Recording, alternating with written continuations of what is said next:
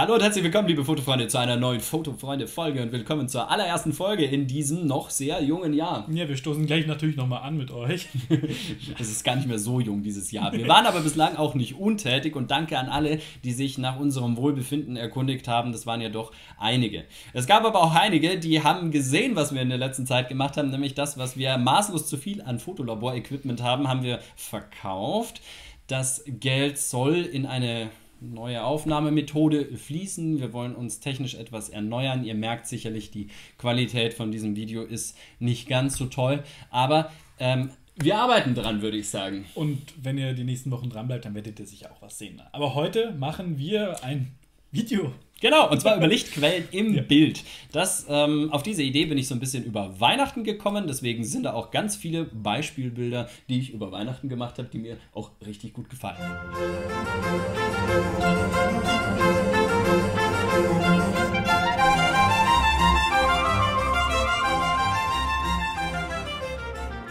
Kennt ihr Adolf Menzel? Nö. Nein? Dann schau dir mal dieses wunderschöne Bild an. Ihr kennt ihn bestimmt alle und wer ihn nicht kennt, der muss anfangen, ihn zu bewundern, denn es sind unglaubliche Bilder, die er geschaffen hat. Tolle Zeichnungen, tolle Grafiken auch tatsächlich und eben auch dieses Wahnsinnsgemälde von Flötenkonzert von Friedrich Tralala. Das ist aber heute gar nicht das Thema. Das Thema sind die vielen Lichtquellen, die er hier im Bild untergebracht hat und diese irre Lichtstimmung, die er hergestellt hat, ganz ohne einen Fotoapparat zu besitzen.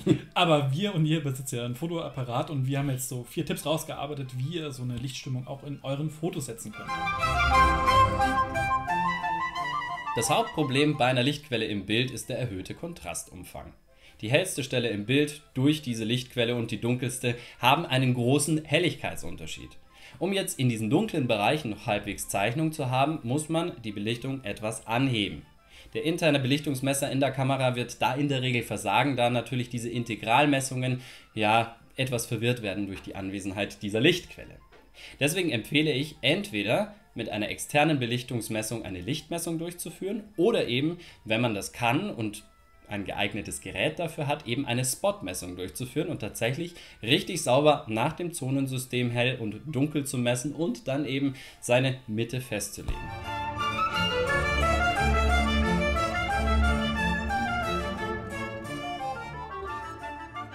Gebe zu, in der Praxis tue ich das relativ selten, denn es ist ja doch ein relativ langwieriger und aufwendiger Job und wenn man gerade noch Leute im Bild hat, dann sind die natürlich schon einigermaßen genervt, wenn man mit seinem analogen Zeug da umeinander tut. Deswegen empfehle ich als haushaltsübliche Gebrauchsmethode ganz einfach die mittenbetonte Messung, die ja die meisten Kameras haben, auf einen Punkt zu richten, den man so ungefähr von der mittleren Helligkeit bevorzugt, die Kamera dann manuell genau darauf auszurichten und dann auszulösen. Notfalls kann man ja ein paar unterschiedliche Versuche machen. Belichte die Schatten, entwickle die Lichter. Das Credo von Ansel Adams stimmt natürlich auch in diesem Fall, gerade wenn wir eben so einen hohen Motivkontrast haben mit der Lichtquelle mitten im Bild. Um das jetzt auszugleichen, gibt es ausgleichende Entwickler. Das sind im Wesentlichen die ganz normalen, die man etwas verdünnt. Der Nachteil ist, die Empfindlichkeitsausnutzung sinkt sehr. Ausnahme? Richtig, Rodinal. Rodinal, da steigt sie bei steigender Verdünnung sogar noch mal ein bisschen an. Meine bevorzugte Variante ist allerdings eine andere, nämlich die Belichtungsautomatik direkt im Negativ mit einem Zweibart-Entwickler. Das haben wir euch in diesem Video schon mal genauer vorgestellt. Das ist der BTTB Mode Entwickler, der den ganz großen Nachteil hat, dass man ihn eben selber aus Rohchemie herstellen muss und dass eben Zweibart-Entwickler ansonsten gar nicht so weit verbreitet zu kaufen sind. Es gibt aber gute Nachrichten für all diejenigen, die keine eigene Chemieküche zu Hause haben. Ihr könnt fast jeden anderen Pulverentwickler auch als Zweibart-Entwickler ansetzen. Voraussetzung ist, dass die Entwicklersubstanzen in einem getrennten Tütchen geliefert werden.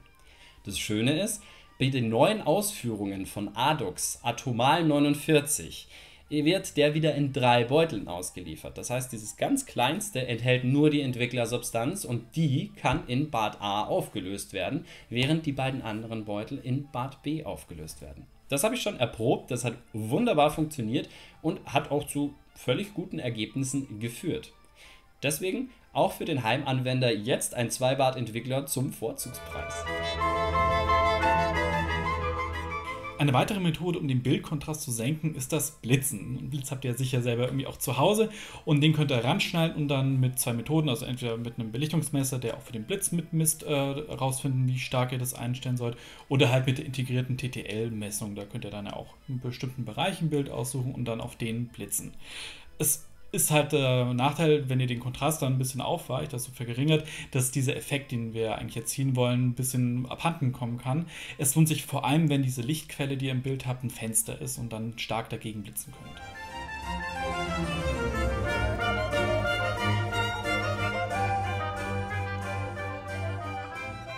Die einfachste Methode, um euren Kontrast zu verringern, ist einfach die Lichtquelle abschirmen. Wenn ihr eine Lampe verwendet, den Lampenschirm verstellen. Wenn ihr eine sonstige Lichtquelle habt, dann irgendwie was davor stellen, damit halt einfach weniger Licht direkt auf den Sensor oder auf den Film kommt. Das ist auch für den Belichtungsmesser sehr hilfreich, denn da dann hat er nicht mehr diesen hellen den er die ganze Zeit irgendwie mit einberechnen muss und kann somit viel exakter messen.